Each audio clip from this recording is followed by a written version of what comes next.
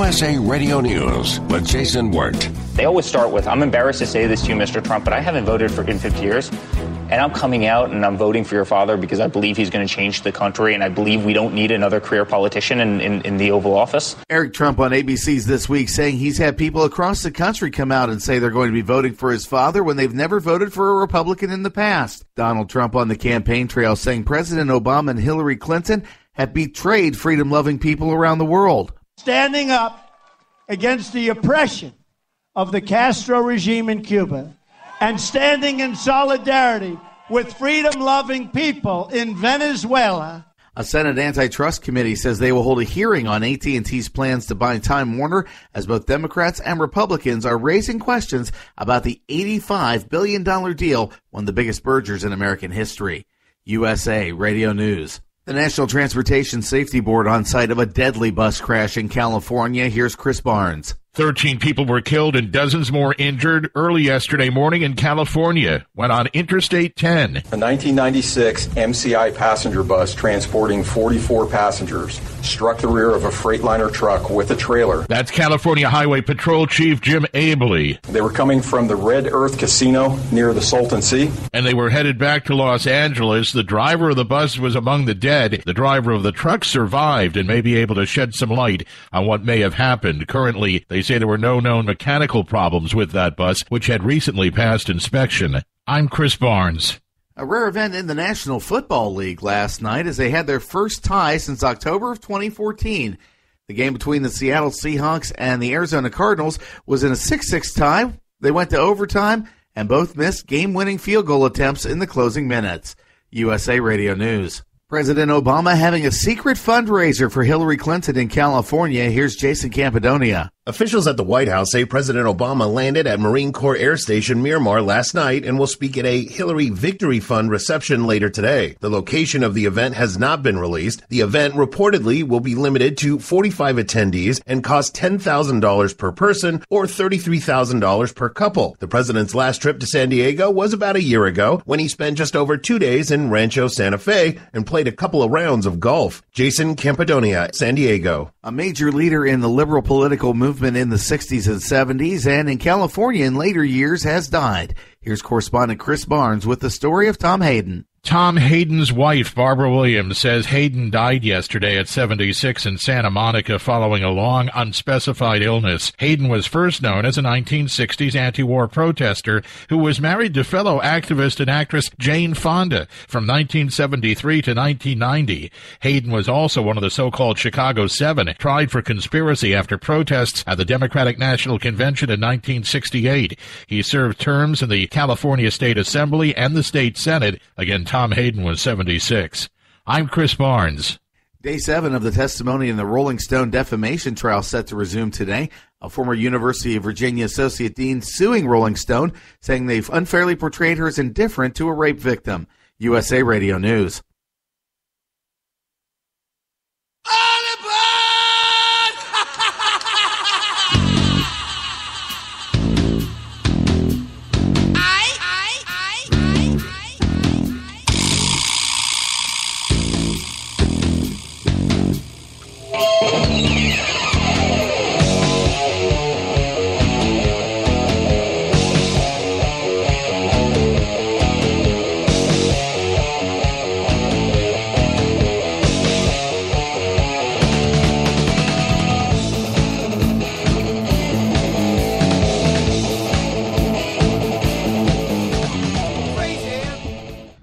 Afternoon, everybody. Welcome to the Frank Vetro Show. Monday. What is it anyway? It's Monday, September, October. Jeez, I'm in the wrong day, wrong month. Monday, October 24th, 2016. About two weeks till perhaps the end of the world. The next president of the United States will be crowned.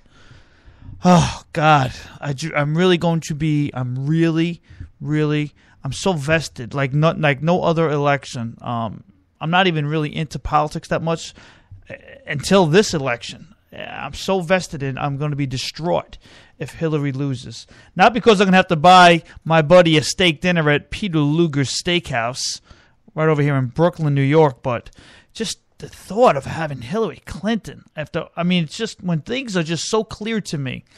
It's almost like what am I missing? But nobody has told me what I'm missing yet. It's so obvious to me what's going on and how corrupt Hillary is and how everybody really is just piling on and ganging up because they don't want Donald Trump that it's so obvious to me that I'm almost I'm waiting for somebody to wake me up. Like what is it that I'm missing?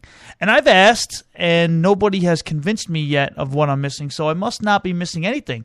Is it that bad out there? Is the world that ignorant? Um, or is everybody just sleeping? Is everybody just not saying what they're really going to do?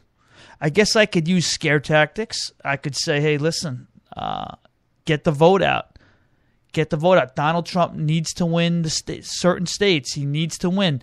He needs to get out there. We're down. We're behind. And I could run through a list of states that I need to urge people to get the vote. Get out there. Do it. You have to do it. Listen, it's an uphill battle. It's been an uphill battle. We knew that from day one. You know, the with, with regard to the electoral college, the Democrats naturally every election have the edge. So it's always an uphill battle. And it was especially one it was especially one uh, with Donald Trump. Obviously, we know he was behind the eight ball from the start. He was taking on fellow Republicans, 16 seasoned politicians. He was not supposed to win from the day he announced he was a clown. He was this. He was going to fail. And then the establishment didn't want him. They tried everything, the establishment, the fellow Republicans, not to have him win the primaries. So did the media. They were all against him. And now like no like nothing else. The Democrats, the, the, the media, the his own his own party. It's just the world against him. And hey, listen, I don't want to uh, paint the doom and gloom picture, but uh, you know, I, I, have hope. I think that, that things are going to happen, and, uh, and I do believe that he can win, and, and he is going to win. But that doesn't mean we sit on our hands. Still, everybody, I urge you in every state that you're listening to me from, everywhere, get out there and vote. You still have to vote. I don't care if your state historically, if Donald Trump has no chance of winning in your state. Hey, man, listen, I'm in New York. New York is as liberal as they come. I'm voting Donald Trump. Okay? Just get out there, vote. Do it to it, man. You have to vote. I'm I'm petrified of what could happen. I, I, I tell you right now. Two weeks. You know, Donald Trump had a had what I consider a great speech. Uh, was it Saturday? Listed what he would do, the list of things he would do in his first hundred days of presidency as president.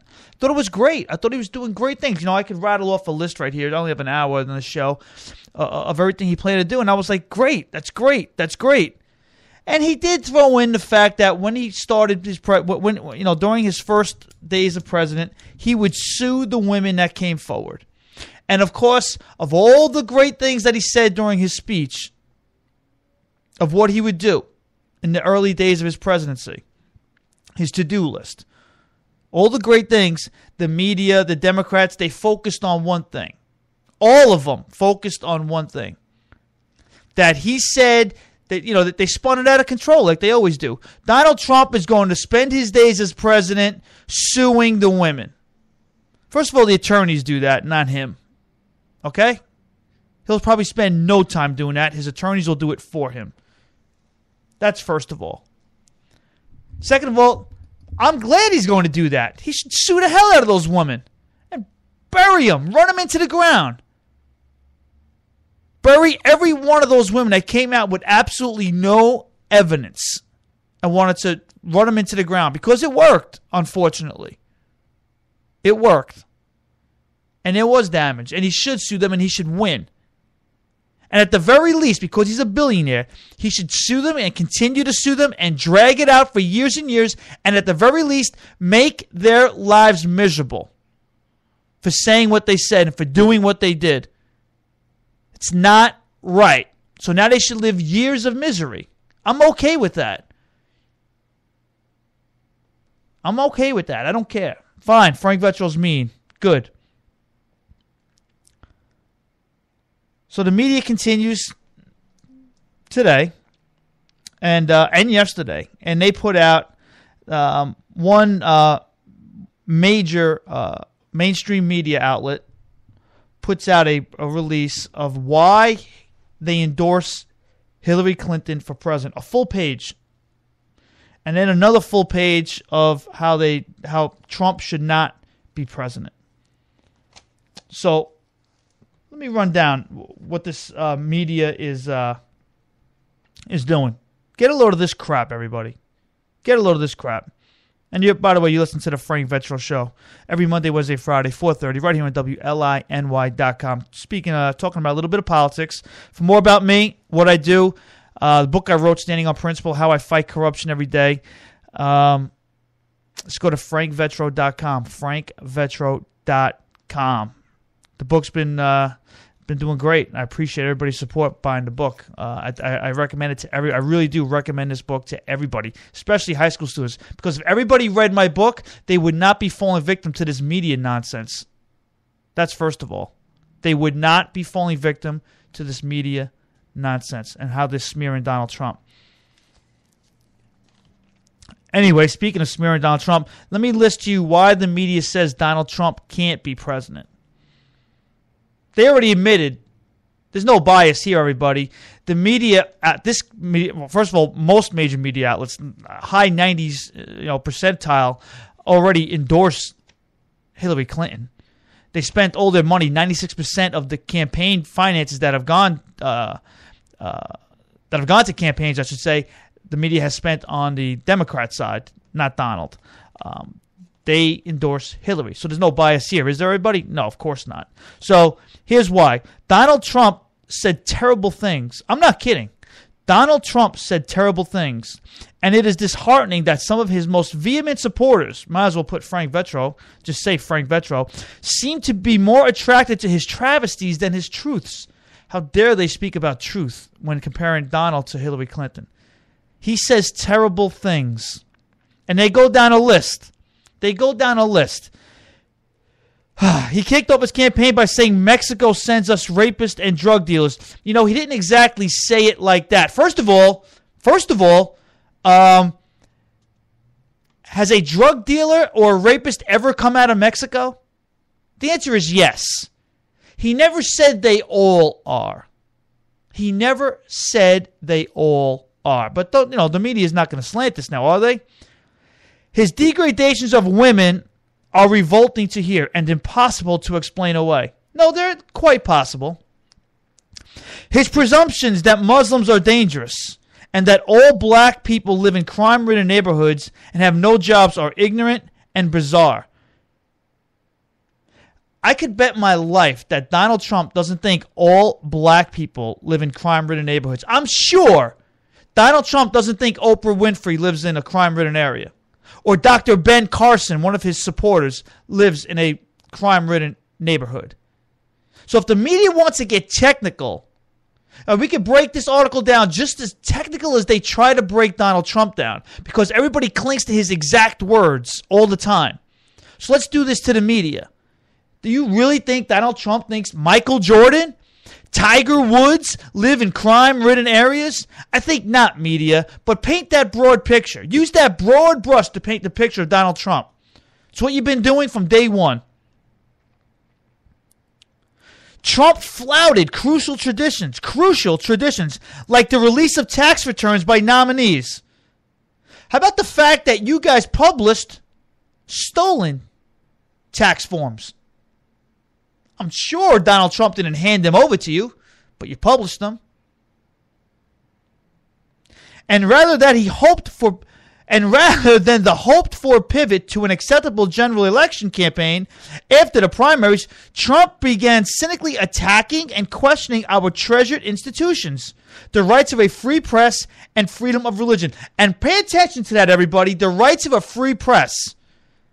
And the press has, without question, overstepped its bounds during this election process with its one sided stories. You know, nine minutes towards Trump saying saying bad things to, about women, and nothing. Thirty seconds toward Hillary's criminal actions, day in, day out, night in, night out on the news. in the media, written, nothing being, nothing. The media, media just burying it. All of Hillary's misdeeds. And it's because Donald Trump, well, in part because Donald Trump vowed about a year ago, a little more than a year ago now, that he would seek to make it easier to sue the media. Well, the media doesn't want any part of that. The media wants free reign to just rip people to shreds without any consequences. And don't tell me the media can be sued because it's it's damn near impossible. I'm not saying they can't be sued. Obviously, Rolling Stone's in the middle of a lawsuit right now because they morons over there put in a story about a fake rape case because they believed a woman. So we know it can be done, but damn it, it is just so difficult. So difficult. He questioned the right of free press and freedom of religion, the judicial system, and the credibility of the FBI.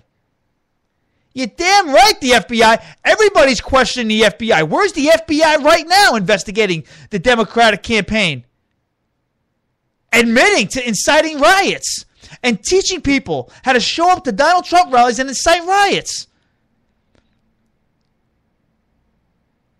You're damn right. Everybody, there's a, there's a lot of people questioning this right now. Not just Donald Trump. He claimed an unfounded fear of fake votes. No, dead people have been on ballots before, as have illegals. So what are you talking about? And a rigged election that could be heard by his most vehement fans as a justification for election day vigilantism. It's just more insults that we're just nothing but no good bastards we're just deplorable, and the media's just feeding into that. These are his reasons. This is this is the media's reason that Trump should not be president.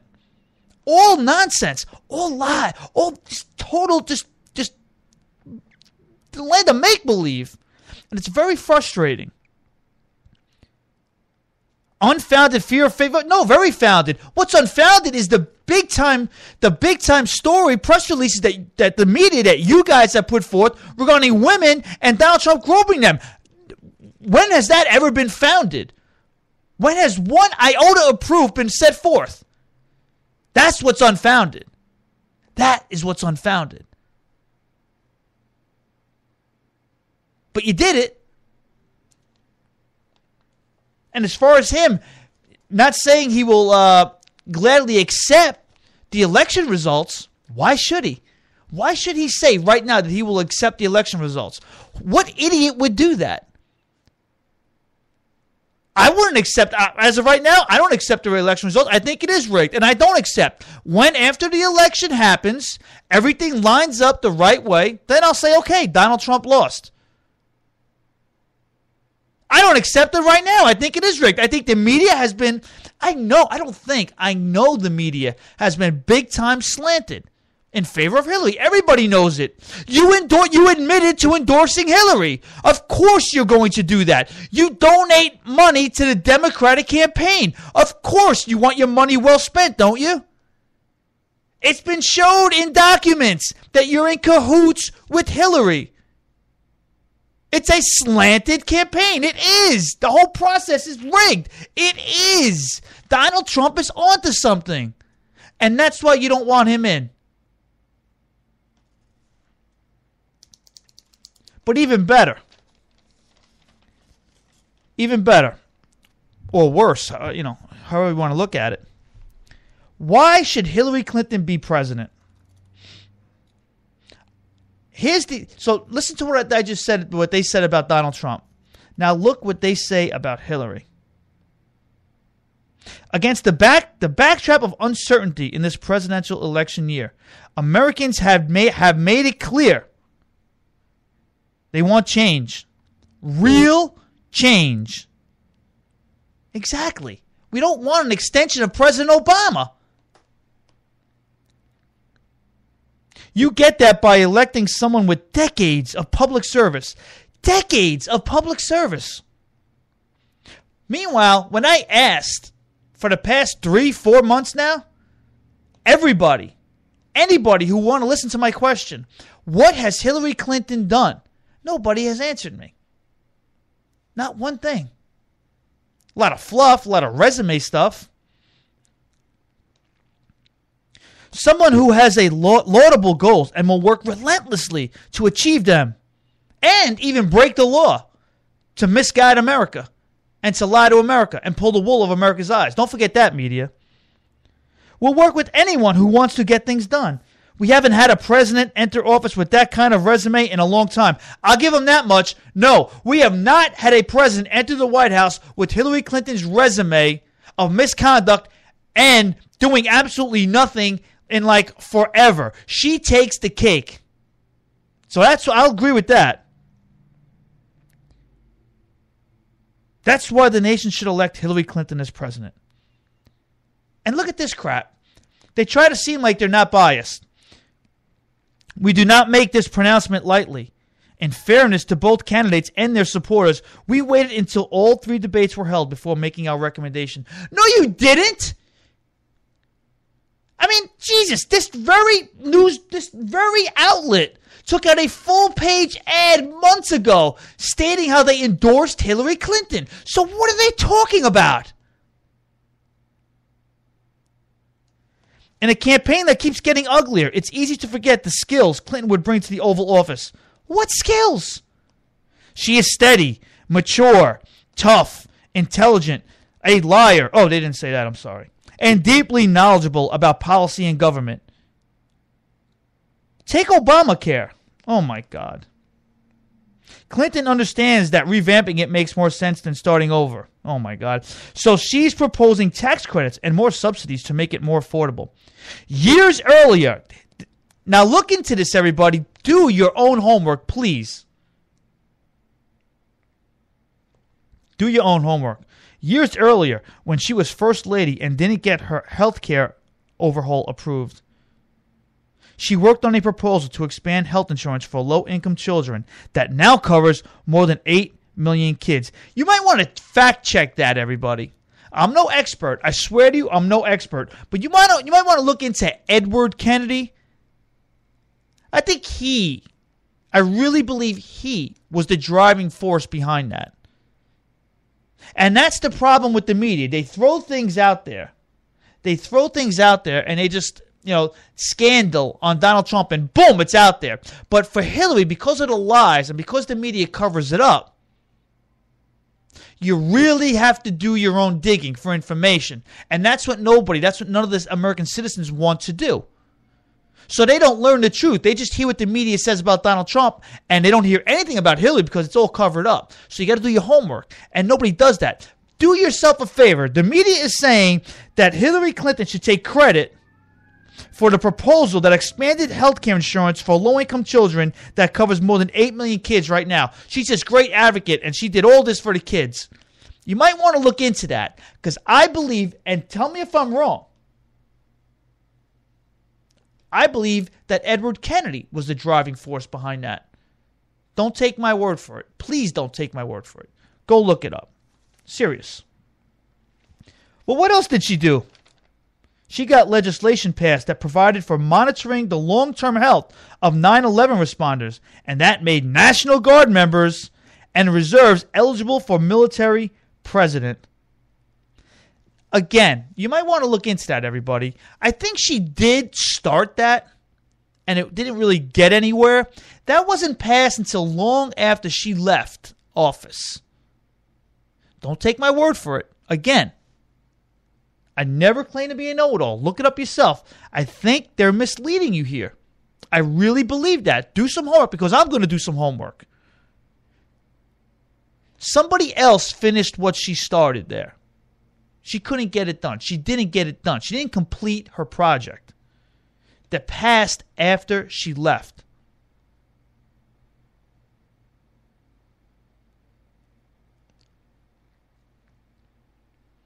It goes on and on. Her use of a private server for emails was a mistake she did not readily acknowledge. It was not a crime. Oh no, it is a crime. Although James Comey, who should be handcuffed too, did not recommend charges filed against her, it's a crime. Make no mistake, she was busted. She lied. And she lied about it. You know, she, she got rid of emails, the whole nine yards. It's a freaking crime. People were prosecuted for less. And if me or any one of my listeners out there would did the same thing, don't worry about it. You'd be arrested and locked up real freaking quick. Don't worry about that. Oh, it's a crime.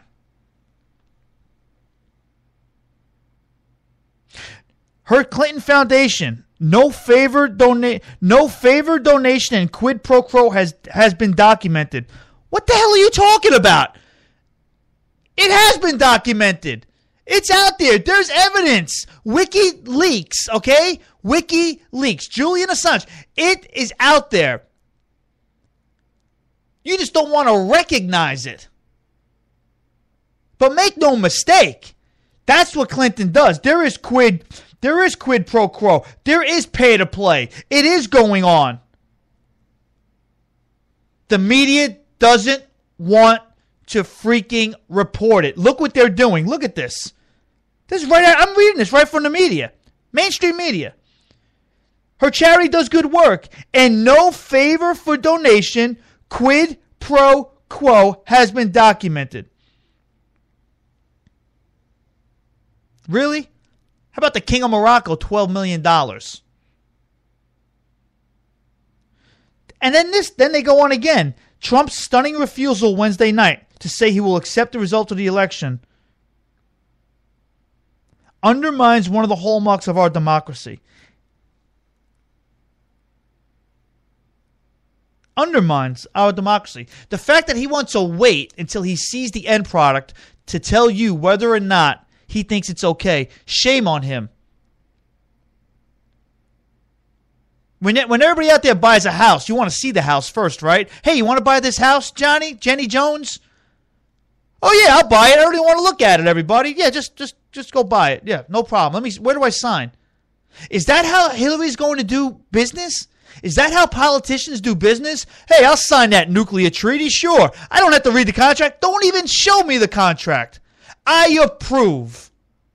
I approve. Is that how things get done in the government? Idiots. All he said was, I'll wait and see. Common sense. That's the answer I expect. That's the answer I want. I don't want him saying, yeah, I would have lost respect for Donald Trump if he said, yeah, I'll, I will uh, accept the results. Why will he accept results? There is absolutely no reason, and there's no reason for Hillary to say she would accept the results, for that matter. Why? I will wait until it's done. That's what it's his right. I mean, what is going on with this? But that's what the media does. That's what the media does.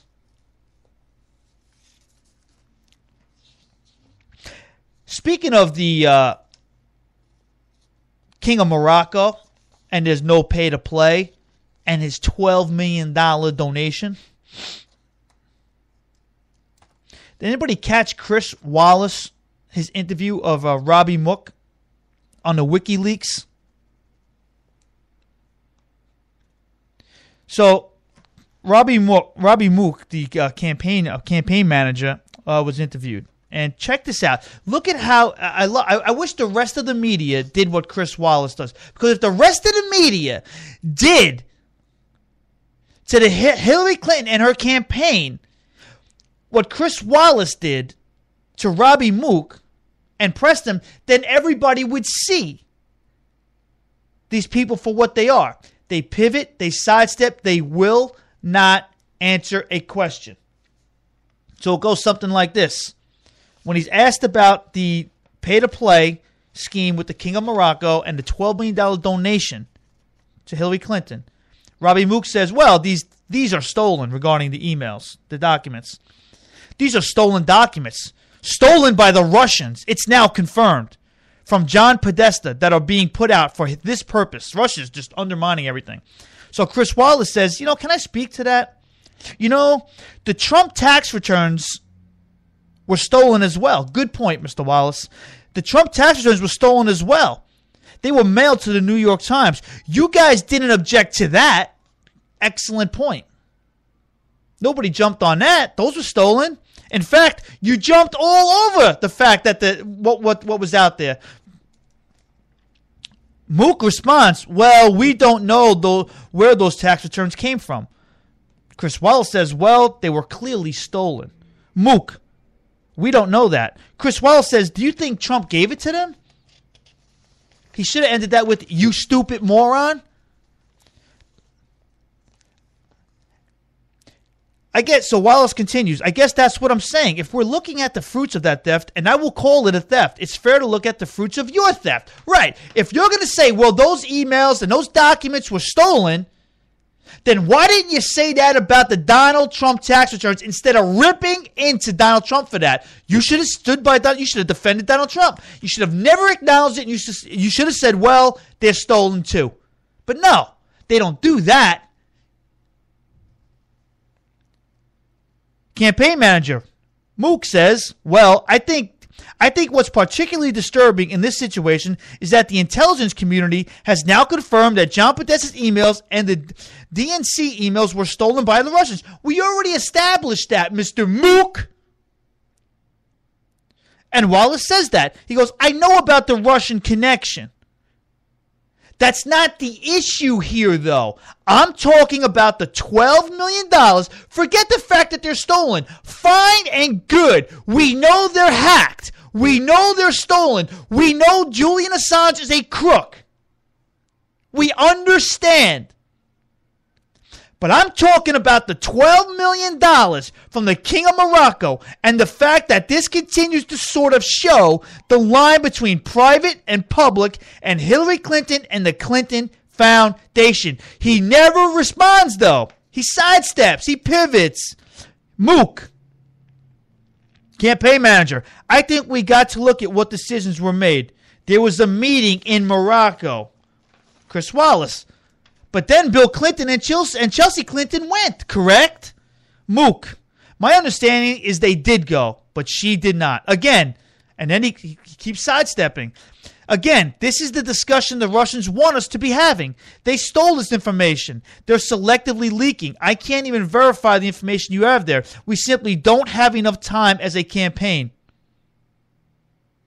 Wallace smartly, half sarcastic, but all true, says, I promise you, if these emails weren't true, you'd tell us. He never said the emails weren't true. He never addressed the question or the situation regarding the pay to play, the $12 million from the King of Morocco. But he did sidestep, and all he could say was they're stolen. We don't care that they're stolen. Fine.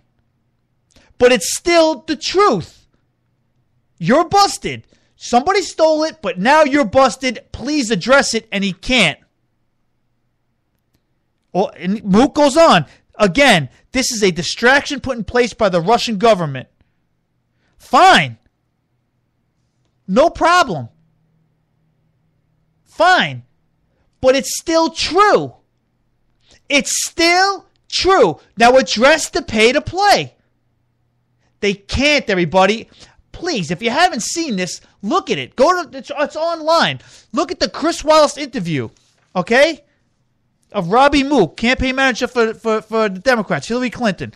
It illustrates, and this can be done if anybody, CNN, CNN, MSNBC, anybody, anybody, even Fox News in some sense, a conservative station, but they, you know, they've been going a little bit easy too. Any news outlet does what Chris Wallace did on any issue, on any topic, and this is what they do. They don't answer. When Hillary Clinton was aboard her plane with her running mate, she was asked about the emails. Does she want to answer? She flat out said, No, I don't want to answer. I don't want to answer. And she didn't.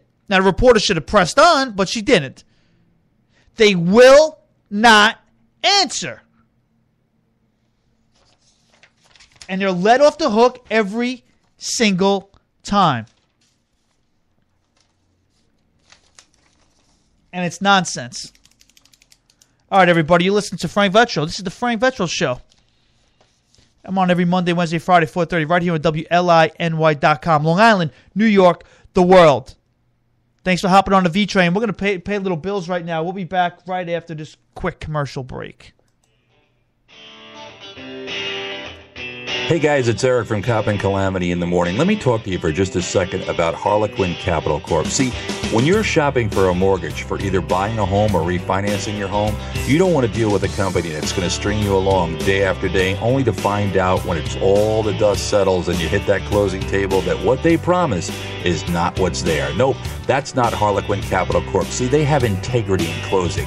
They know the mortgage business, they know their products, and they know what they have to do to ensure that you get the best mortgage at the best rate at a rate you can afford. They know their stuff. Harlequin Capital Corp 888-815-1120 888-815-1120 one more time 888-815-1120 Call Harlequin Capital Corp for all of your mortgage and refinancing needs today.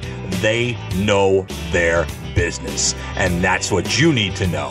Harlequin Capital Corp 888-815-1120 888-815-1120. Give them a call today. An extraordinary story of a real life David versus Goliath is told as Frank Vetro, a young charismatic principal on the rise of the educational system, has his life taken away like you won't believe. In Standing on Principle, Vetro provides a first hand account in real time of an innocent man in the justice system and details the tedious struggle to clear his name. You will never hear another story like it. It broadens from local themes right here on Long Island to global themes of social political importance. Learn the struggles of Frank Vetro as a career was lost, as well as employment and his home. For more information about the book, go to frankvetro.com. ShowMeCountry.com. It's not just a brand, it's a. Lo- Um, hello? Wait, what do you mean? We're not doing it this way? Stop it. No, we're not. All right, fine. ShowMeCountry.com. Express your country with great products like purses, hats, shirts, belt buckles, purses, wallets, novelties, and gifts. We have something for everyone. Hundreds of products, adding new deals daily. Their site is 100% safe and secure. Easy payment options like log in with Amazon, PayPal, or credit debit cards. Country means something different to everyone. Show off your country style with ShowMeCountry.com. Not country? Check, Check us, out, anyway. Custom orders welcome. ShowMeCountry.com. It's not just country, it's a lifestyle. So check out our buddies at ShowMeCountry.com.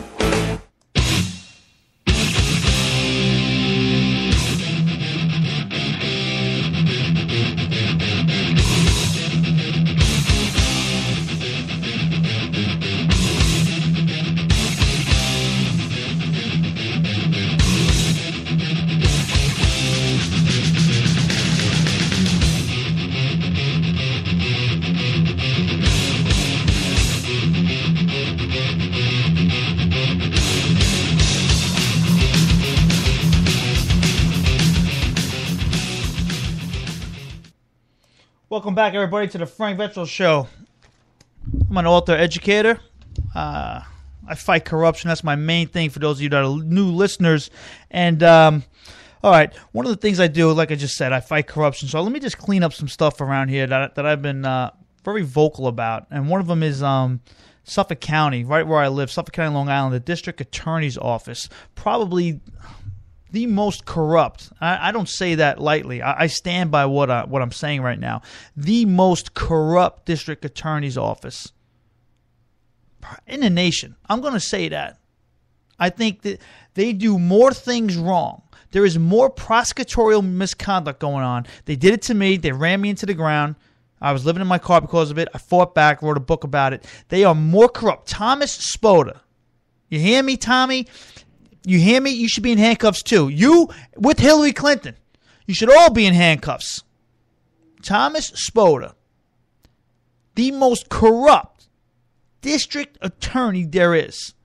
All right. So anyway, one of his uh, one of his henchmen, John Scott Prudenti, pretty powerful figure. Family members were judges, the whole nine yards. So he rents a party boat, and he was renting the boat to defense attorneys that he was copying deals with. He was making plea deals with. Oh, that's not a uh, conflict of interest, is it? So they want to hide that. The county doesn't want to release that finally, a judge says, you know what? We're entitled to see the financial records for the past 15 years of this man and his party boat. And it wasn't only, it was not just defense attorneys on the boat, there were judges, prosecutors. Yeah, there were pictures. There's pictures of these people on the boat. It happened. So I can't wait to see these financials. They're going to, now. Certain parts of these are going to be redacted.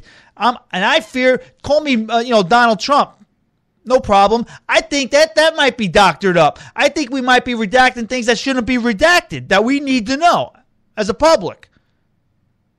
The fix is always in in Suffolk County. Don't worry about that. So I can't wait to see after this stuff is redacted what's on these financial disclosures. 10 of the largest pensions in New York State are for school superintendents. Now, I'm going to back up school superintendents for just a second here. I'm actually going to go to bat for them, even though none of them will hire me and I'm blacklisted from public education. I'm still going to go to bat for them. I think that whenever there's somebody in charge of 5,000 people, 8,000 people, where they are the last stop, think about a business the person that's in charge of 5,000 people is making a lot of money. Okay? So when they're making $250,000, $300,000 a year, I'm not that much against it. Not like the next person, at least. Because they're in charge. Ultimately, they're the last stop for all those people. Having said that, this whole pension nonsense, and there is reform that hopefully will trim it down. But, you know, this whole thing with pensions, like these superintendents are retiring with some pretty I mean, hefty packages. I'm talking about $25,000 a month, $28,000 a month in pension for the rest of their life. And that's the problem.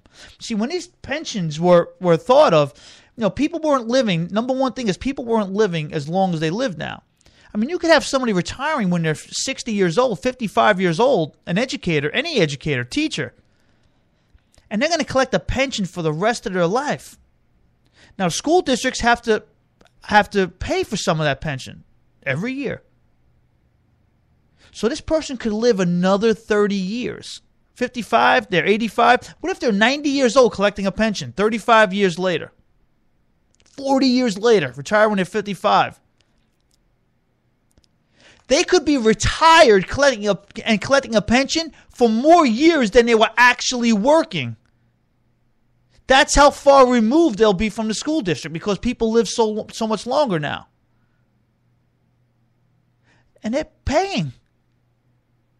And that adds to the increased taxes. Just just one thing. We got into it, but you know, 10 of the largest pensions in New York State, public pensions, are school superintendents. They're getting paid money out here. Uh, again, I'm not necessarily against it, not as much as the next person. I just don't like when they complain about their job and how it's too hard and now they have to do this. You're getting paid a lot of money. Do your freaking job and keep your mouth shut. Collect your little paycheck. That goes for teachers too. You're going to do just fine at the end of the day. Stop crying. Nobody likes crybabies. You're doing fine. The rest of America isn't. You're doing just fine. Get a nice little paycheck. Get your summers off. Get all the other time. Fine. Take it. Believe me, take it. I won't knock you, but don't you damn complain. Don't you dare let me hear you bitch and moan. And that's what I don't like, and it happens all too often. You're doing just fine out there. You're doing just fine out there. All right, so I have a listener and she emailed me as I recommend to everybody. If you guys want to hear a certain topic, or you don't like me, or you do like me, or you don't like how I speak about something, and you or you think I'm wrong, and you want to tell me privately, do it. A lot of people do, and I recommend it. Go to my website frankvetro.com. There's a contact page, and do it. There's a lot of people that do it. I don't say all of them on air. Sometimes I do. I, sometimes I if they if they speak to me respectfully, I won't call them out on air. I don't. Um, and I answer all my emails personally and respond as Christine, I won't say her full name, can vouch for. She reached out to me just today, actually. Um, and thank you, Christine. She um, said some nice things about me and my show. She listens to all of them.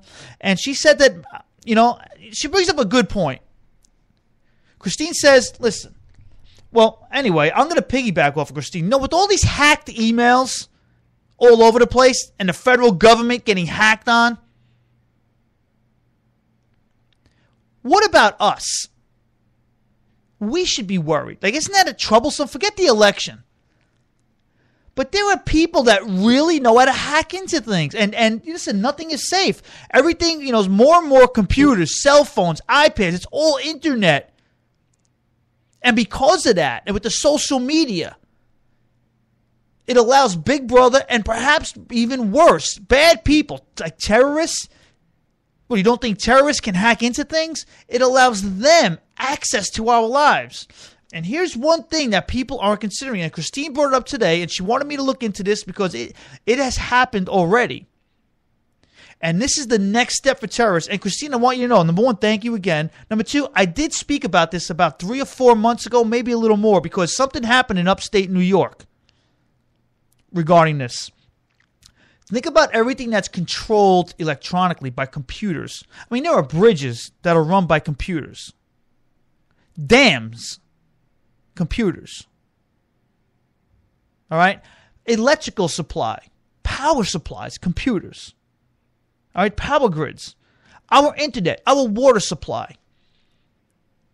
Now, think about it. If you don't think for a second, if everybody doesn't realize that the terrorists, these terrorists are plotting, they're planning, they've been doing, listen, they wait years, years that's why every time you hear something go wrong, you, you hear people speak about, you know, oh, what a nice person. I can't believe it was that person. Of course you don't. They want to fool us. They are they could be your neighbor. They could be anywhere. They who knows they could be your friend.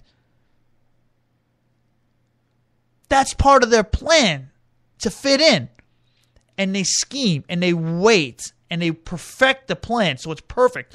What if just what if they hack in, they do something bad, they hack into our computers, they hack into our internet that's controlling important things like our water supply, our power grids, our dams, our bridges, no escape, our bridges, the toll bridge, it's up, it won't go down. I'm just saying. The gridlock that would ensue, the panic. What if they drop something into the water supply? They're working on it. That's the, don't think they're not working on it. They want mass destruction. They want to kill as many as possible. They don't want to slash you. They don't want to shoot one person. They don't want to just rob somebody of money. They want mass destruction of the United States. And if all of this lines up with everything else they do with bombs and explosives, put it all together like they want to do. And what do you get? We'll look like 1960 Cuba. We'll look like like a Middle Eastern country. We'll look like a third world nation. Christine brings up a very good point, and I did speak about this briefly some months ago. And I'm going to look into this more. It did happen actually in upstate New York, something, but nothing really came of it, but something went wrong. Something was hacked into. It's happening, everybody. It's happening. No question about it. Thank you again, Christine. All right. Now, you know, Trump actually, Donald Trump, back to politics. Donald Trump brought up a good point. Donald Trump says, listen, if this could happen to me with the media and the trashing and undermining and the cover up and the corrupt action and how they're in cahoots with each other with the media and the Democrats and other world nations and the FBI involved. If they could do all this to conspire against Donald Trump, and I don't want to hear that they're not. I mean, there are documents that are saying this. And like Chris Wallace said to Robert Mook, one of Hillary's campaign managers. If they were wrong, I'm sure you would say it. They never say they're wrong, they just say they're stolen. They avoid it. So, with all of this, Donald Trump says if they can do this to a multi billionaire who has resources and hundreds and hundreds of people working for him to uncover things and money and a support of millions of Americans all behind them, and there's a movement behind Donald Trump. And they can still do this to him and corruptly oppress him and, and just undermine him and undermine the campaign. If the government can do this to somebody like Donald Trump, let me ask everybody a question out there. What do you think the government can do and has done to you without you knowing about it? They beat your ass into the ground and you don't even know what happened to you. Well, it happened to me on a very low level, right here in Suffolk County, Long Island. They did it to me. The media and the local government, they did it. Elected officials did it. They all conspired and they did in Frank Vetro beginning back in 2006. And there was about a, mm, I would say, three, about a seven year plan. For seven years, they ran me into the ground to the point where I was living in my car. I'm sorry, I said seven years. About five years. Five years. And then I slowly fought my way back when I uncovered everything they were doing. See, what they're doing to Donald Trump is nothing new. It's just the largest level that we've ever seen exposed. It's worse than everybody ever could imagine. But if you read my book, if you read Standing on Principle, they did it to Frank Vetro. It is a fact, just on a much smaller level. And when I said what was being done, when I uncovered it, everybody thought I was nuts. No, it happens. It happens. You just can't, you just don't know. The common person can't figure it out because they don't have the resources to figure it out. Like my own attorney said back in 2008 when that shyster turned his back on me, and I'm not talking about my attorney now, Phil Jacino. Like my attorney said back then, he said, Frank, you don't have the resources to fight them. We don't have the resources, people. So the corrupt government goes on and on, and nobody wants to believe it. Oh, it's crazy. It's crazy. Donald Trump is crazy. He's crazy. No, he's not. It happens all the time. It happens all the time. We just don't have the resources to uncover it. Donald Trump does. He's a global figure. He has more money and enough money to uncover things and fight them and outlast them. He is a fighter. They're not going to outlast him. He could uh, ultimately lose the election, but he still can uncover more and more things. He has the resources. Win or lose, we should thank Donald Trump for what he uncovered. Win or lose. If they can do this to Donald Trump, what do you think they do to us? The government and the media. And when they get in, and when, when they're in bed together, like they are, they can bury anything, and they do bury it. There's cover up every freaking day.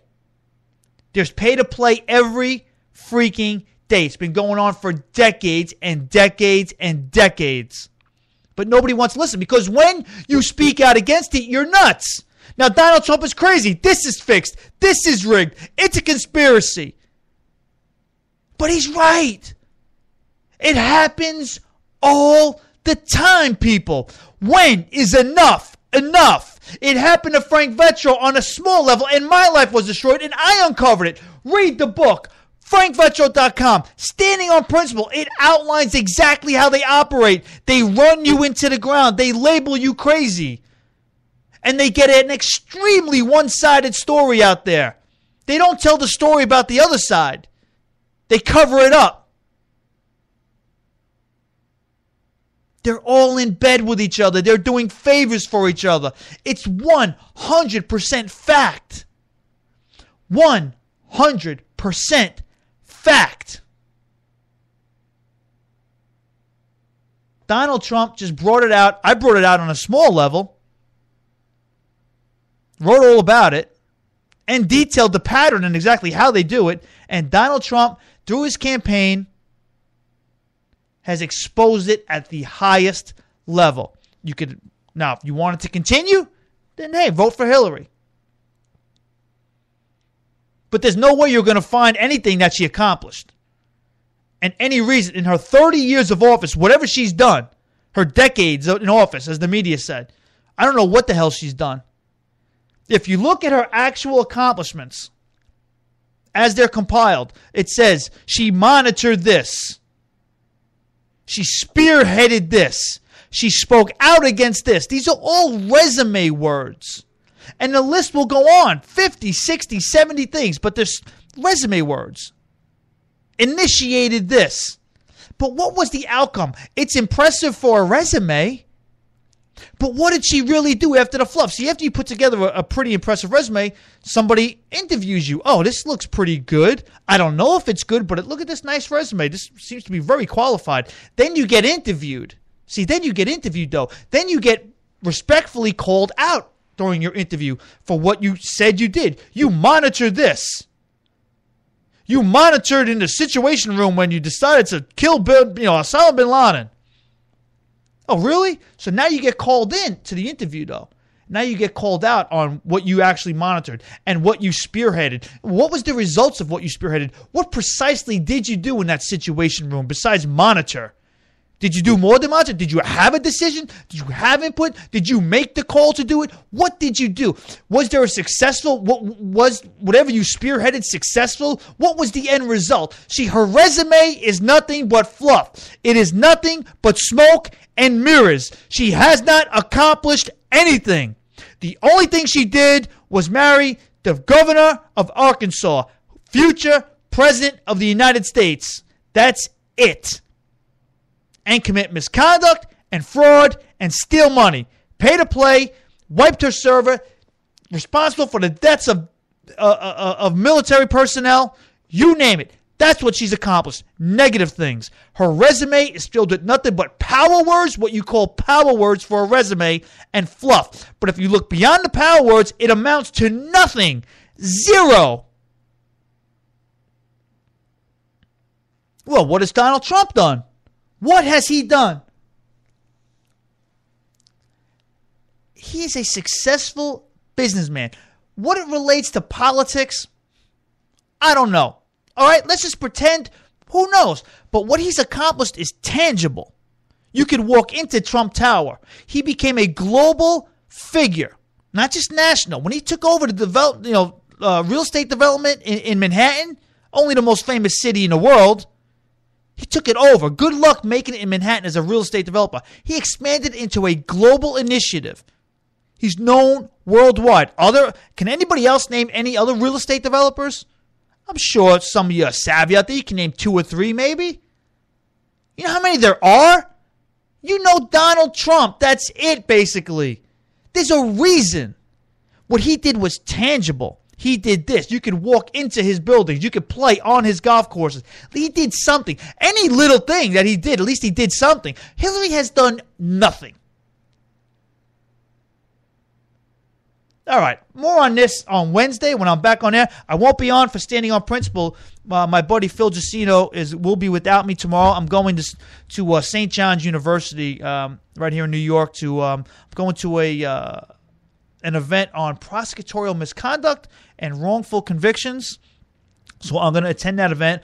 I would love, to, hopefully, I'll get a chance to speak at it. We'll see what happens, but I won't be able to make tomorrow's show standing on principle at 8 o'clock. But you know, Phil DeCino's going to have a good show queued up for you. 8 o'clock, staying on principle, more politics, more, uh, hey, somebody's got to stick up for Donald Trump, right? So you'll you'll hear that tomorrow night, followed by uh, the right perspective with Phil DeCino again. And my man, Ed from Atlanta, Ed Vilbig. All right, everybody. Thanks for watching the Frank Vetro Show right here on WLINY. I'll be back on Wednesday. If you want to contact me, catch me on Twitter at Frank Vetro. Go to my website, frankvetro.com to learn more about me, my book, or just tell me what you hate about me or love about me, or what you want me to talk about. Keep it coming, everybody. Thanks for watching the Frank Vetro Show. Thanks for hopping on the V train. The next stop is Justice, and I am taking you there. Have a good night, everybody.